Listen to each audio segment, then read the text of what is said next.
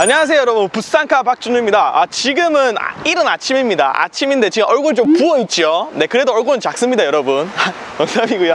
어저께 저녁에 새벽에 비가 진짜 많이 왔어요. 전국적으로 비가 많이 와가지고 부산 곳곳이 뭐 어, 이제 뭐 침수되기도 하고 어, 뭐 그런 소식이 많이 들리던데 사고 여러분들 구독자분들은 사고가 없으시길 바라겠습니다. 다행히 저도 저희 매장도 저희 집도 아무런 피해가 없거든요. 그래서 차량 볼 때 매입해야 할 때 조금 더 신중을 기하고요. 침수차 구별법 어, 제가 오시면 확실하게 한번 말씀을 드리도록 하겠습니다. 오늘 제가 영상을 트는 이유는 어, 여기 지금 제가 며칠 전에 찍어서 올렸던 all new 카니발 하이 리무진 차량을 어, 배달하러 갑니다. 어, 중고차 배달 전문점 아니겠습니까? 또 맛집 아니겠습니까? 제가 오늘은 어디로 가냐? 광교 그쪽으로 갑니다. 제가 옛날에 분당에서 잠시 일을 하면서 오토 콜렉션 수원에서 잠시 일을 했었거든요. 그렇게 일을 하면서 추억이 있는 곳으로 제가 차를 가지고 갑니다. 근데 오랜만에 가려니까 세상에 마상에 여러분 시간을 내비게이션에 검색하니까 여기 보이시나요?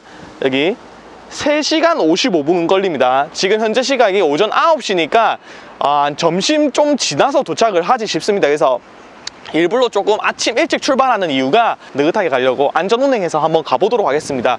이 고객님께서는 이미 부산에 한번 오셔서 차량은 검수 하부까지 다 띄워보시고 가신 분이시고요. 어, 제가 지금은 서비스 차원에서 그냥 갖다 드립니다. 물론 무료로 갖다 드립니다. 이렇게 해서 같이 한번 가보실게요. 가시겠습니다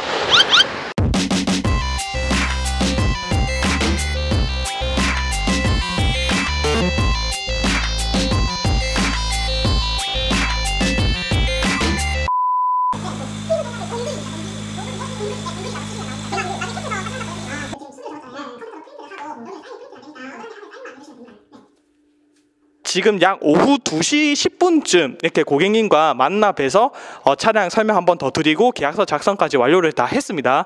아, 네, 안녕하세요. 네, 예, 안녕하세요. 아, 예. 박재루 씨. 아, 예, 반갑습니다. 예, 부산에서 올라오는 장 수고 많았습니다. 아이, 감사합니다. 아니, 아니, 예. 제가 감사합니다. 예. 해가지고 어, 소개 짤막하게 한 분만 부탁드려도 될까요? 예, 저는 아, 캐나다에서 30년을 살다가 네. 처음으로 이제 서울에 와서 네. 아, 서울에서 차량 이제 중고죠. 네. 차량을 구매했는데 네.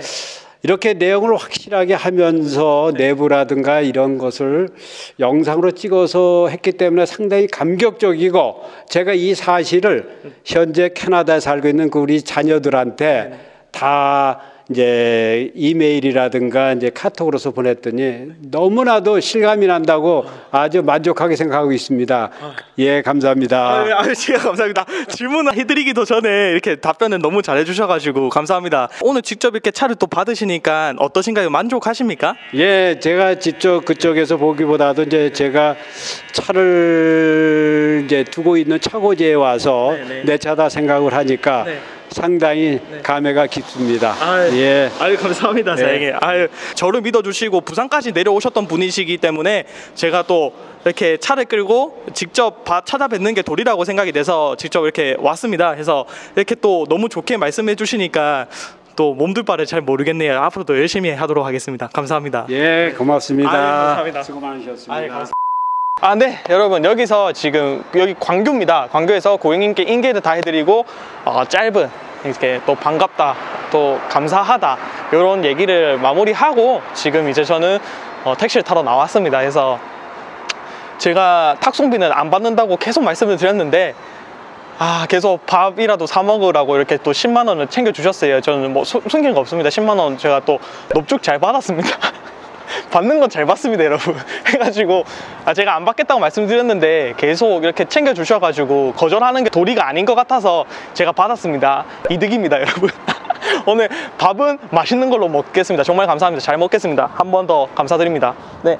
해가지고 저는 이제 택시를 타고 서울 온 김에 올라온 김에 그냥 조금 뭐 구경 좀 하고 갈까 싶어요. 우연찮게 연락이 닿아가지고 지금 중고차 파괴자라고 아시나요, 여러분? 유튜버 하시는 분인데 제가 한번 뵈러 갈까 싶습니다. 해가지고 견학 겸 한번 시원하게 놀다가 가겠습니다. 열심히 하겠습니다. 감사합니다.